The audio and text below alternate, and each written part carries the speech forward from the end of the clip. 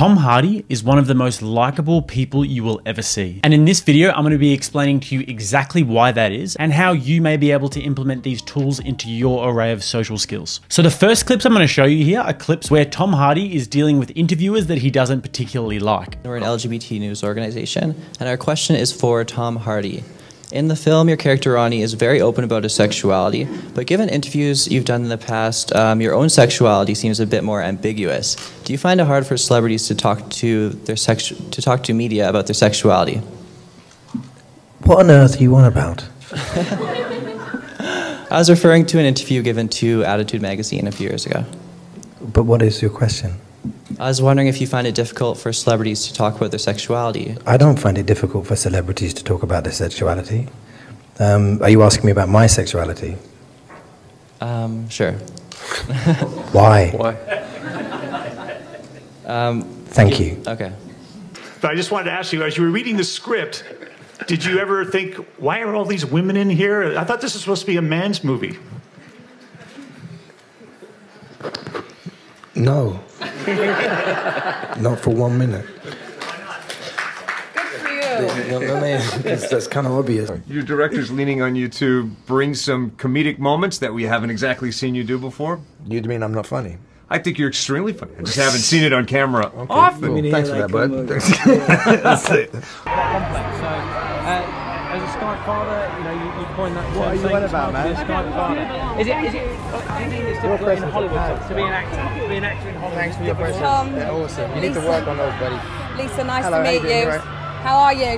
Bad Uh, questions, man. Um, These questions suck. I apologize. If there's one thing that you can say about Tom Hardy, it's that he has a great eye for bullshit and that he visibly does not like fake people and people that kiss his ass. And when he doesn't like somebody, it's extremely clear in his body language. Notice that Tom Hardy's expression for the most part is very neutral when he's responding to questions that he doesn't particularly like or just with people who rub him the wrong way. He has a very piercing stare. It's the kind of stare that says don't try any bullshit with me. Also, he's not afraid of a confrontation and he's not afraid to show when he's not impressed by something. Oftentimes in these awkward interactions, people will shy away from saying or showing how they really feel. But Tom Hardy is clearly okay with it. He doesn't try and smile and laugh it off or anything like that. He's a guy whose body language will tell you exactly where you stand. He's a man of few words and doesn't emote in an exaggerated way. When he smiles, it's authentic, it's genuine. You have to earn it. Furthermore, when he answers these questions, his delivery is very slow, very calm, and very dry. He doesn't get angry or emotional about it at all, which is actually way worse for the person on the other end. Contrast this now with his interviews with Alan Carr. Aren't you Leonardo DiCaprio's plus one? You could go with him. No, no, I don't think he'd, I think he'd probably want to take someone else with him. I'd love to go with him. I'd love to go with him. he doesn't write, he doesn't call. I'm dead to him, basically, Tom. So I've got um, three months to do that. How'd you bulk up? Fat, a lot of fat and trickery. A lot of fat and trickery. They do that with me here on Chatty Man. I'm actually Why? painfully thin.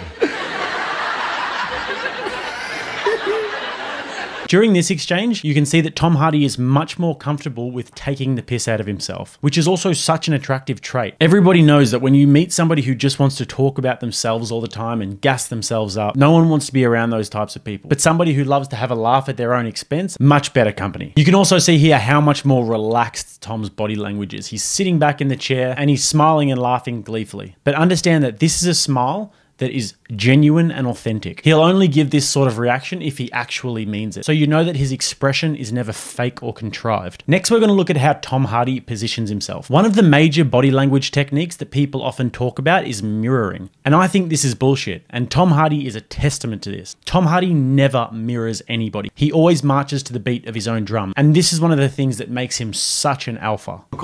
when you see, uh, you know, what ended up on screen because you realize these men actually did this, and we, in, within the context of making a movie, it was an incredible, always something that was entirely unpredictable.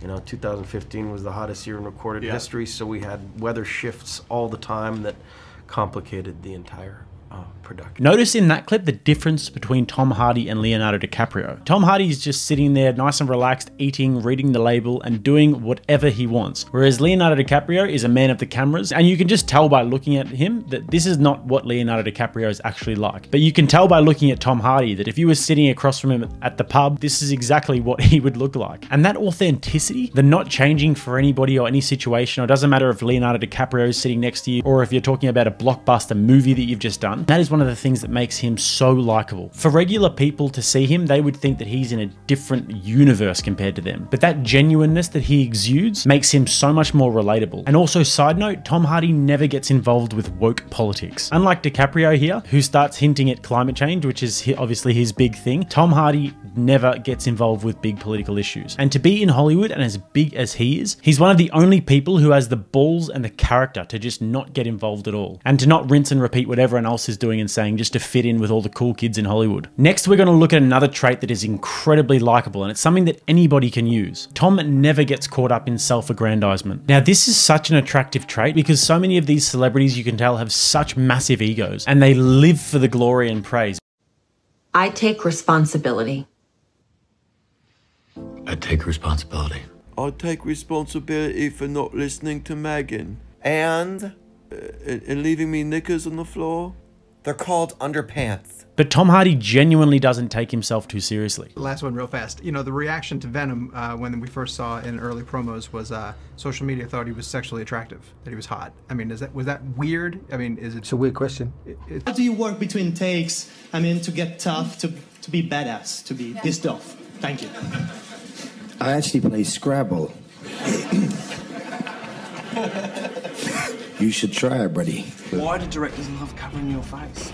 Because I'm- Leo in Child Because I'm 44. ugly, mate, innit? Like, bottom line. let's, let's be brutally honest. Who's a better shot, Tom Hardy or Chris Pine? I'm really spot on with the potato gun. I miss the toilet bowl all the time. Okay. How do you keep yourself calm? How do you control your, your the turmoil within? Knitting. You're a knitter? No. No. After seeing Mad Max too, man, I mean the, the physicality of what he had to do for long stretches of time in Africa, man, I don't, I really don't know how this dude. He's a beast. Yeah. he really is a beast. I'm desperate. You're desperate. I'm trying to claw my way up the ladder. Like I said before, there's absolutely nothing worse than meeting somebody and all they want to talk about is what they've done and their achievements. But when you meet somebody who's genuinely achieved great things and they don't want to talk about themselves and they deflect compliments and make fun of themselves and heap praise on other people, those are the kinds of people you want to be around. And those are the people who are genuinely confident. They don't need all of this external praise and approval. They move in silence. Which segues nicely into the last point, which is that Tom Hardy is a man of few words. I is it a Christmas drum jumper? It is, isn't it? No, no, I No, you no, you don't know whether you, you might. Yeah, uh, good for you. Yeah, lovely. Good. No, I know that. Congratulations. Would you like to say a few words? But don't start crying like Gwyneth Paltrow or Halle Berry. Would you like to say a few words to um, your public? No.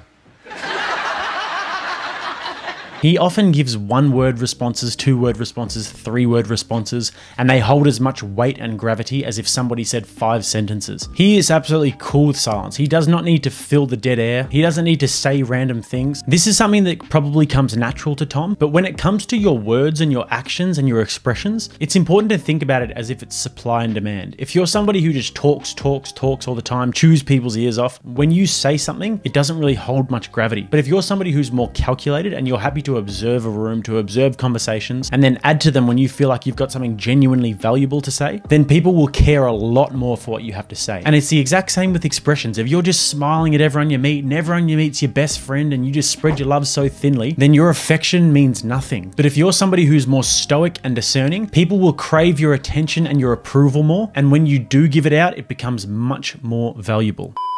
If you like that clip, then I've got the perfect one for you next. Check out the breakdown I did of the five reasons why women love Tommy Shelby from Peaky Blinders. Thank you so much for watching, guys. Until next time, I'm Jake, and this has been Rattlesnake TV.